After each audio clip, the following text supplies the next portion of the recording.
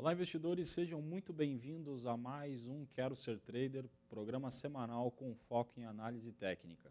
Nesse programa eu vou falar com vocês exatamente sobre um tema que a grande maioria está em busca. Né? Em busca do scalp perfeito, em busca da melhor operação do dia. Né? Nós vamos falar exatamente sobre isso. Bom, o que a gente tem para destacar exatamente com relação a esse tema é exatamente o seguinte o trader vencedor, ele atua como exatamente um atirador de elite, um sniper. Então ele está o tempo todo tentando encontrar as condições ideais para colocar a sua estratégia em prática e aí startar a sua operação. O problema é que quem ainda não chegou nesse estágio, muitas vezes se sente na obrigação de testar todos os pontos, todas as referências que o mercado te oferece como uma condição é, de compra, uma condição de venda, mesmo que ela não obedeça todos os pré-requisitos que o seu setup utiliza. Né? E isso, muitas vezes, é um perigo muito acima da média para quem está exatamente ah, começando. Se coloquem agora ah, na situação de quem tem exatamente um limite de perda menor, aquele operador que vem para o mercado com um capital pequeno e que ainda né, está dando os seus primeiros passos e tem um financeiro de 50 a 100 reais de risco apenas no dia. Então, dificilmente ele vai conseguir startar muitas operações, testar vários pontos no mercado, até conseguir se encontrar e desenvolver uma movimentação maior, acertando então uma boa operação. Eu falo muito sobre isso nos meus vídeos no canal do YouTube. Aproveito para convidar vocês a se inscreverem aí no canal do YouTube, onde a gente fala sobre diversos temas então se inscrevam para que vocês possam receber as notificações sempre que eu postar vídeo aulas novas. Com relação à estratégia, uma das coisas que a gente precisa se concentrar bastante é, primeiro, em se encontrar qual é o seu perfil. Né? Quando você consegue se encontrar, isso tudo fica muito mais claro, porque as operações de ruído vão ser operações para quem tem um perfil mais agressivo, para quem tem um limite de perda maior.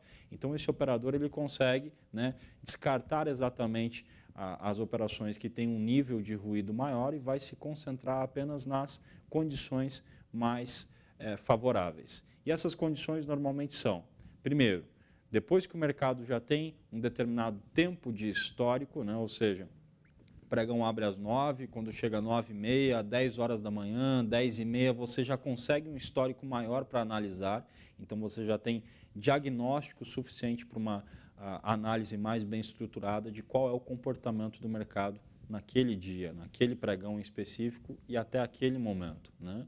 Depois disso, já é tempo suficiente também para ele ter estruturado ah, os padrões que você normalmente vai utilizar exatamente na sua técnica. Caso ela seja mais conservadora, provavelmente a partir daí, com todas essas informações, você vai conseguir estruturar melhor a sua compra ou a sua venda e aí sim encontrar um scalp, um day trade com uma probabilidade maior de dar certo.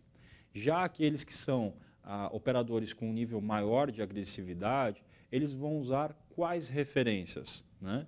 As médias, as retrações, mesmo que muitas vezes isso seja um movimento contra o fluxo que o mercado está fazendo. Hoje a gente teve uma situação muito parecida com essa.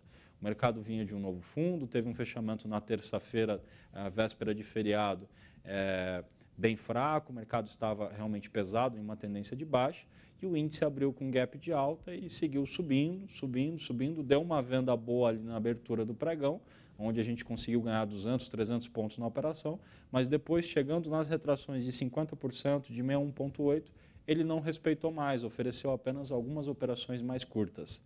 Logo, a nossa estratégia de venda, tomando como base que o mercado tinha uma tendência de baixa, funcionou em alguns pontos em específico. E aí a gente chega num cenário bem interessante. Quem conseguiu fazer a primeira operação do dia, que eh, gerou um lucro de 200, 300 pontos, provavelmente tinha fôlego suficiente para encontrar qualquer tipo de dificuldade dali para frente.